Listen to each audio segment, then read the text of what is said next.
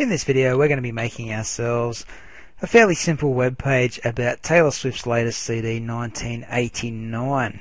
Um, as you can see this is an example of the web page we will be creating today and it's just slightly expanding on what we learned in the first tutorial. Okay, the only thing we're going to really add to this is some bullet points down the bottom here and some text that's in italics. The rest of this stuff you've done before in the previous tutorial. Alrighty, so before we begin today, you need to go into your account and you need to make a new folder called Lesson 2 Taylor Swift. Inside that folder, you need to create another folder called Images. And there's just one picture you need to copy into there, and that's a picture of the 1989 CD cover. You'll notice that I have got some info here. This is just some text I've pre-written uh, to save a bit of time later in the tutorial. This is the text that's going to go into the web page. I'm simply going to copy and paste it across to our document. Alrighty, so make sure you've got those two folders created, Lesson 2, Taylor Swift, and your Images folder. And you've got the picture inside that Images folder.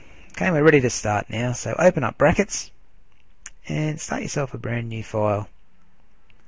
Remember to save that file before you begin typing. So go to File and Save As. Go into your documents and find where you just created that Lesson 2 folder. And right there you're going to give it the name Taylor Swift. No spaces in the name. And don't forget to put .html on the end of the name, just so we know it is a website that we are creating here. Okay, so I'll click Save.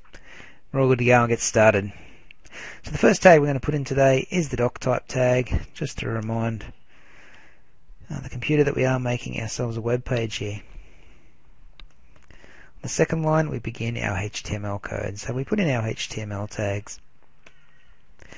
Underneath the HTML section we do the head section of course, and in there we just need to put ourselves a title. So put in the title tags, and it's just going to be Taylor Swift 1989. That's all we're going to put into our head section for now. Okay, so remember that renames the tab in your web browser. We'll have a look at that a bit later. Alright, so down a little bit further we're going to begin the body, which is the visual part of the website. This is what we're going to see in our web page.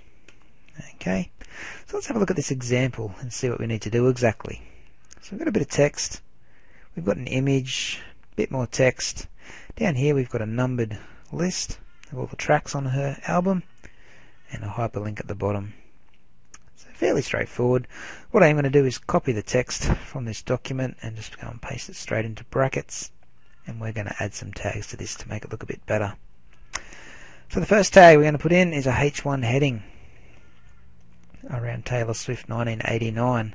That will just make a nice big bold heading for us. If I save this, go into my account and just open up the Taylor Swift HTML file we've been working on, we can have a look at how this is going so far. It's going to look pretty ugly because all we've done is given it a H1 heading. The rest of the text is just all sort of clumped together as there are no tags or HTML tags around it just yet. So let's keep going and add a few more tags in here. Okay, the next thing I'm going to do is add in a new paragraph. So you do the letter P pop sensation, blah blah, blah, blah, blah. It goes on for a little while. We'll close that paragraph off. I'm just going to keep copying that P and put it in for all of our paragraphs here. And I'll do the closing P tag as well to show when our paragraphs finish. So I'll just copy and paste them after each paragraph. Actually, I don't think we need one around track listing. I might just leave that off for the minute. We will need one down the bottom though for the click here to buy the 1989 CD. Alright, so the next thing I'm going to do is just indent these paragraphs so they're in line with all the rest of them. Alrighty, so I'll just save that and we'll give that a test run and see how it's looking. As you can see our document now getting spaced out with different paragraphs, which is good. Next thing we need to do is put a picture underneath our title here that says Taylor Swift 1989. We'll put an image in. So there's our title just there. Move down to the next line and let's write img space src which stands for image source. I'm going to write equals and we'll let brackets do the rest. We're going to look inside our images folder and select the 1989 JPEG picture. And I'll close my tag off. Now you probably want this in a new paragraph, so we will need to put the P tags in around the outsides of this image. So that piece of code there makes a new paragraph and inserts the image 1989. If you hover over it, brackets will give you a preview of what that picture looks like. So I'm going to save it. We'll do another preview to make sure that picture's loading correctly. It's a pretty good size, so I might leave it at that 250 by 250 pixel size. Okay, so far so good. Let's go down a little bit further and do a bit of editing into this writing down here. Now, we have a quote here from Taylor Swift. Okay, and I want to put that in italics. So the way we do that is we use the tags EM. Okay, and EM just gives our text a bit of emotion. So I put the starting EM tag before her quote, and after her quote I'll put in the closing EM tag. Okay, and if I save that now and preview that, you'll notice that this line just here will change into italics. So watch that closely when I refresh it. There we go. We've now got emphasized text. Oh, sorry, emotive text as it's in italics. Alrighty. Down the bottom, we've got click here to buy the 1989 CD. Okay, we need to put in a hyperlink for the words click here. Alright, so what we're going to do is open up a bracket and write A space href equals and then in quotation marks we're going to write in the website where they can buy this CD. I don't know the name of the website off the top of my head where you could buy this CD so let's just link them to Taylor Swift's official website. I'm sure you could buy one from there. Okay, so it's ahref equals and in quotation marks write in the website address you want this link to go to and close your brackets. Remember this little A tag appears just to close off our link. We need to remove that from there and put it after the words click here. That way the words click here become the hyperlink. Okay, so that's the code we just added in. If you do want it to go into a new tab when you click on that link, remember put a space after the quotation marks just here and write target equals underscore blank.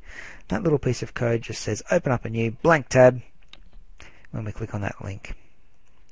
So I'll save that again by pressing Control S, going back to my web browser, and we can see we've now got a hyperlink here. Okay, my internet's ridiculously slow, so it's not going to load too fast, but you can see it's going to taylorswift.com and it has popped up in a new tab.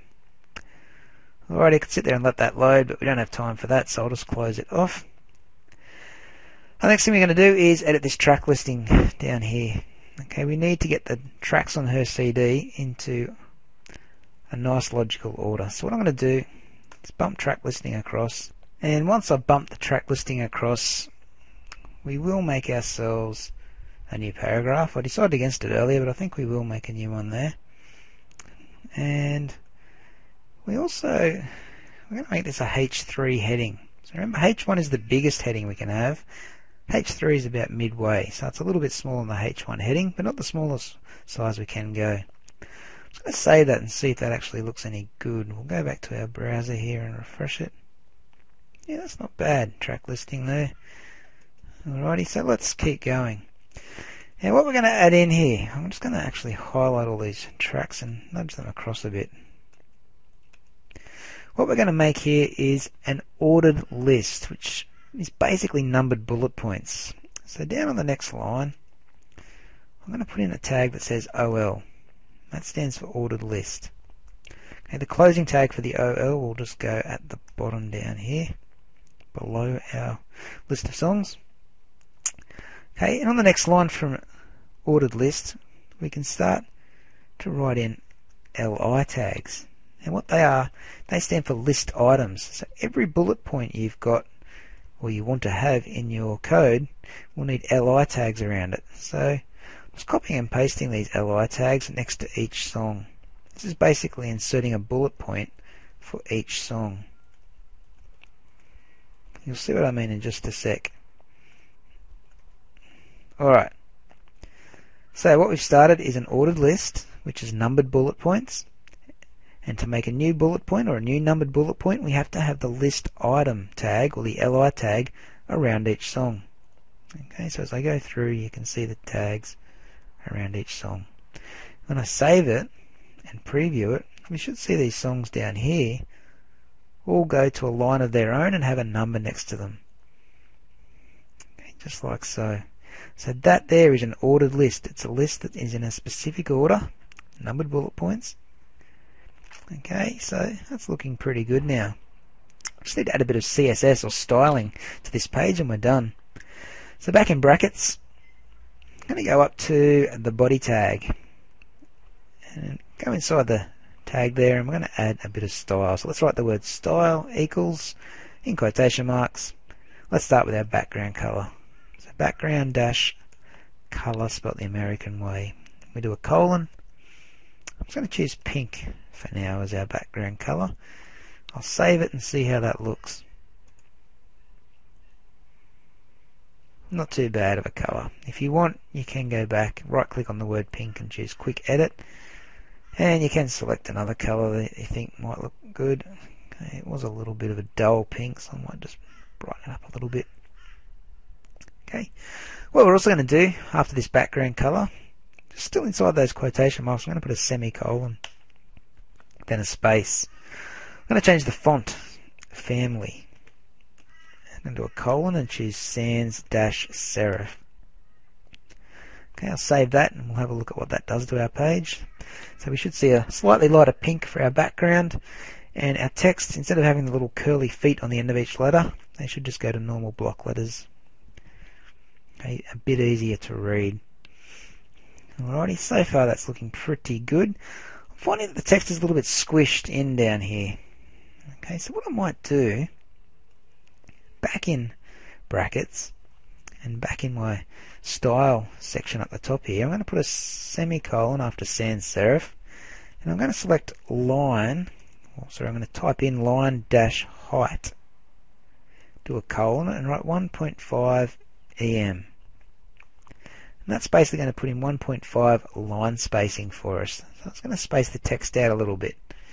So I'll go back and have a look. Just watch this text down here in particular. Get a little bit of space between it. Okay, just spaces our text out, makes it a little bit easier to read, makes our page look a little bit more professional. Okay, that's looking really good.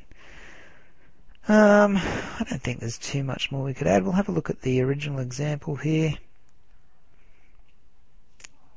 looks fine. Okay, we don't really need to change anything there. So I think what we have here is a finished web page. Um, save it up as a HTML file. We'll just file and save actually. Test it out. Make sure it's looking good. If so, you're all done. Okay, just have a quick look at that code. Make sure you've got it all exactly the same as mine. You'll also notice at the bottom down here we've got two closing tags, one for the body and one for HTML. It's basically closing off the body section, okay, and then closing off our web page. So hopefully it's starting to make a bit of sense for you. But that's all we're going to do today for the Taylor Swift web page.